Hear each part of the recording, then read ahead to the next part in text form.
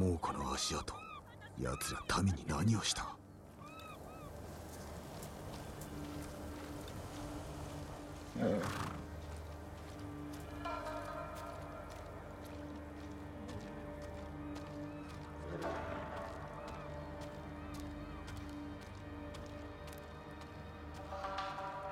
猛虎の小屋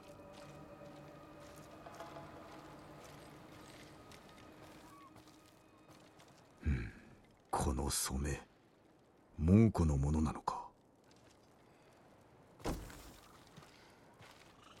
民が枷をはめられておる。舌を噛みちぎったのか。血だまりだ。何に耐えておった。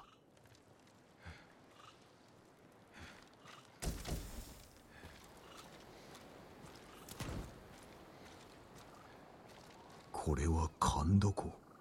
猛虎の儀式だろうか侍大高様が呼んでる。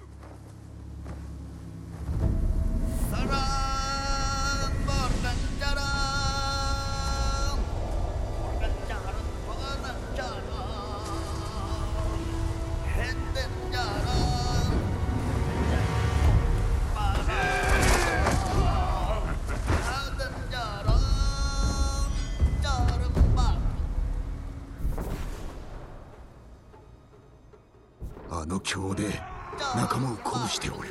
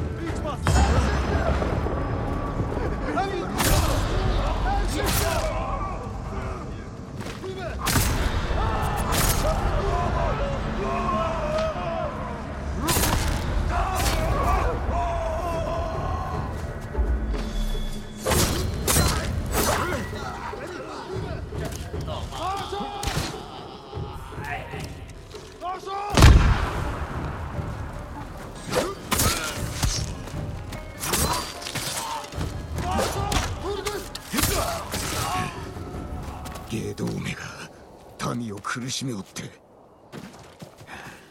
正体を突き止めねばな。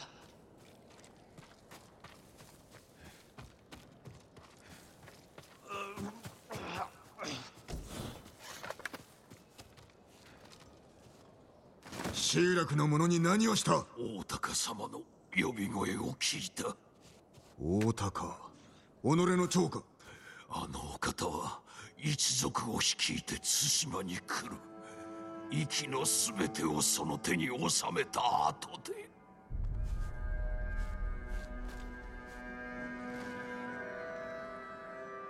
こやつらあの息から。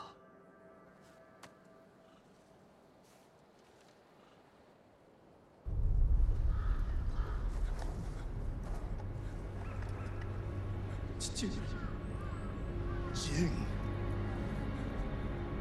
手を貸さんか。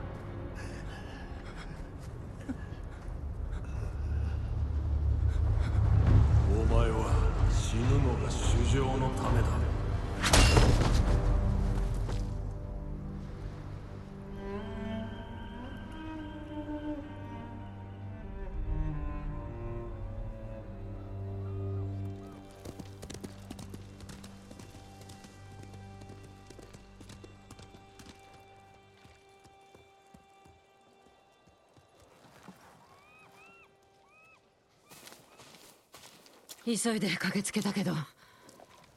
こりゃひどいね。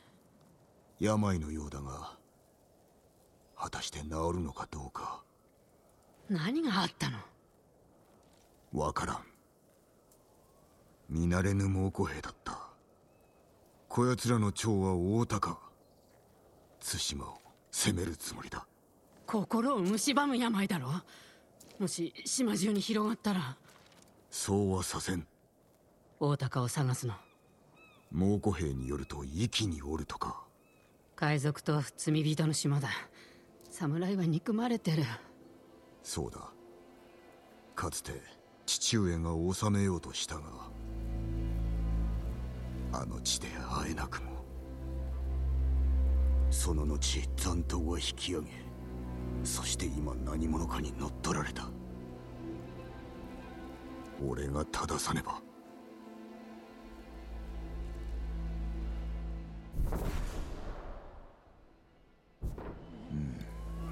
堺家は息で憎まれておる。堺家の鎧を着るならば家紋を隠さねばな。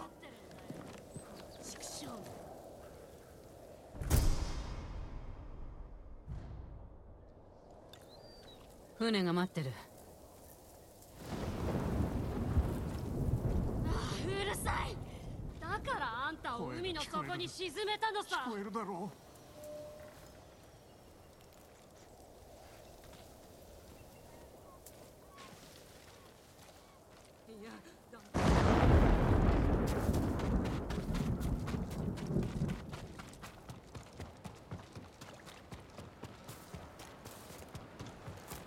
いつでも立てますぜ。酒井様よろしいんですかい？息はお侍を嫌っとりますよ。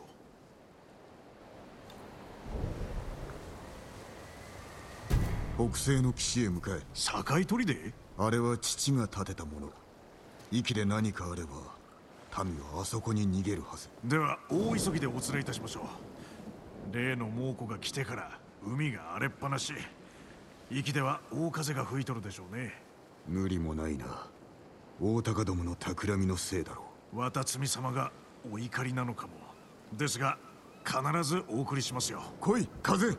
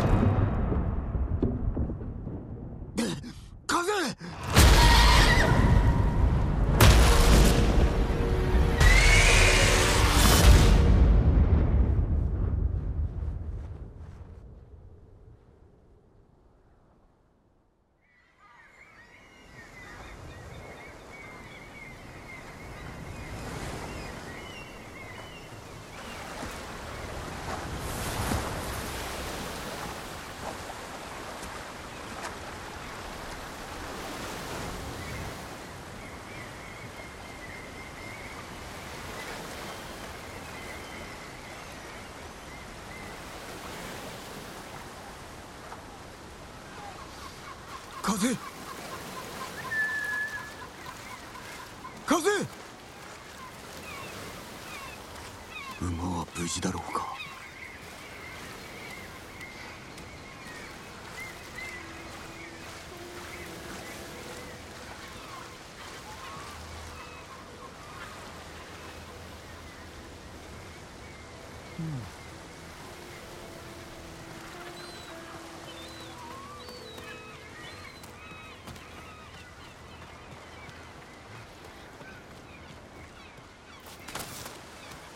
着いたのか？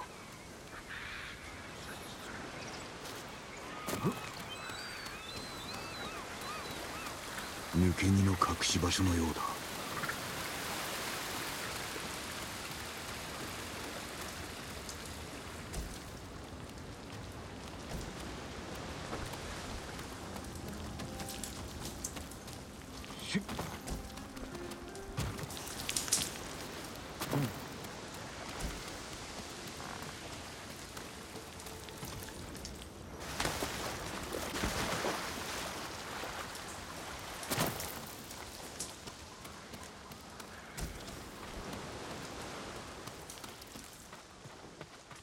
出口はどこだ？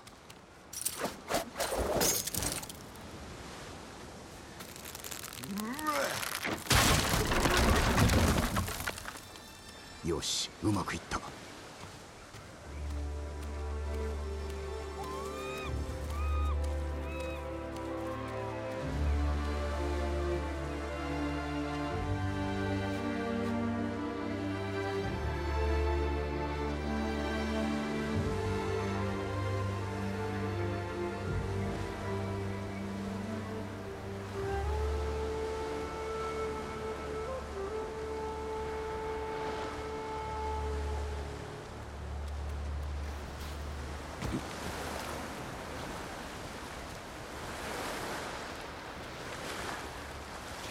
境取り手は遠くない。誰かおらぬか調べねば。